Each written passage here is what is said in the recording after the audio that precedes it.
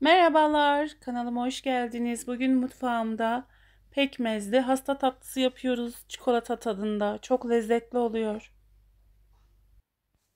Malzemeler 2 yemek kaşığı unumuz var. 4 yemek kaşığı sade yağımız var. 1 çay bardağı da pekmezimiz var. 1 çay bardağı da suyumuz var. 4 malzemeyle muhteşem bir tatlı oluyor. İlk önce tereyağımızı böyle erittik.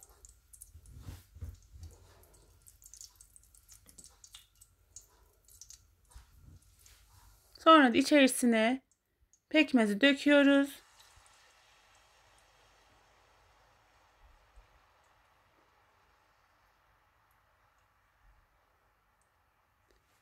Pekmez kaynayıp köpürmeye başlayınca da 2 yemek kaşığı unumuzu ekleyeceğiz.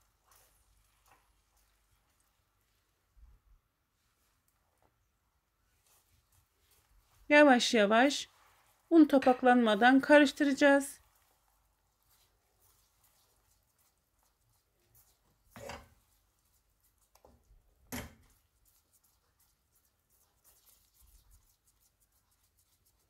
İyice karıştırdık. Burada hastamız kaynıyor.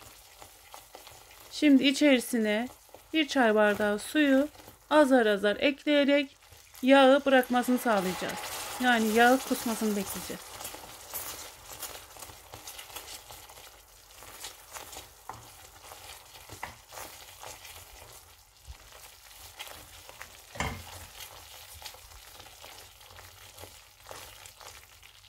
Devamlı böyle karıştırıyorum.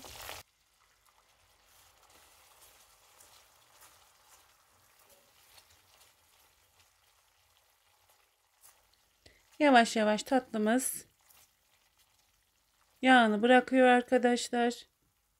Biraz daha su ekledikten sonra artık tatlımız yenmeye hazır kıvama gelecek.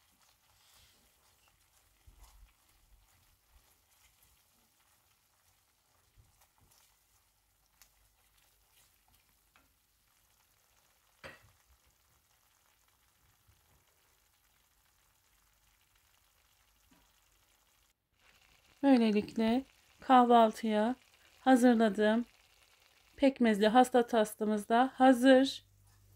Bol bol yağını kustu arkadaşlar. Biz böyle ekmekle yiyoruz. Ekmeğe de sürüp yiyoruz. Çok lezzetli oluyor.